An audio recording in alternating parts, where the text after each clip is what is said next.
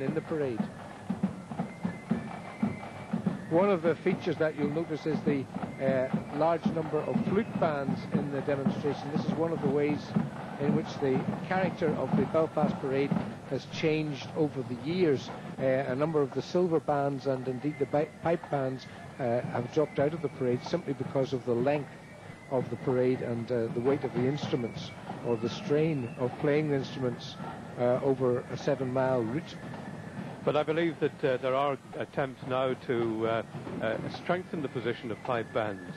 Well, uh, in the last year we've seen the inauguration of the North Belfast pipe band and uh, some of their representatives have been out at some of the concerts during the winter and the band itself has played at, at concerts during the winter but I have no indication that they intend to uh, Uh, participate in the 12th in Belfast this year.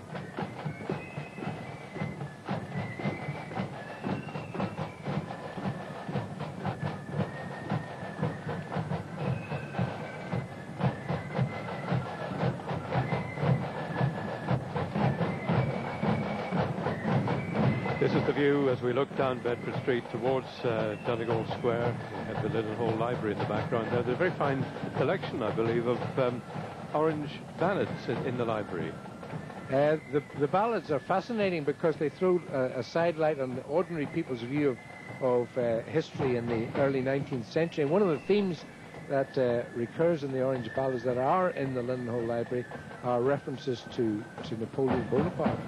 And of course, uh, there's a, a, nickname for part of uh, the hills around Belfast, Napoleon's Nose. Napoleon's so Nose, obvious, Obviously, all these things are linked together in some curious way.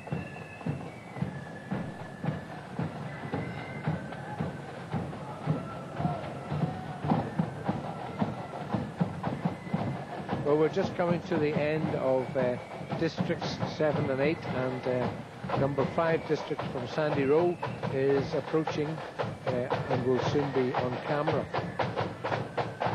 Number 5 being one of the biggest districts in the order. They have uh, over 33 lodges in Sandy Row district, and uh, uh, the whole area has a great history that has echoed Orangeism for generations. And uh, very, very recently, uh, the South Belfast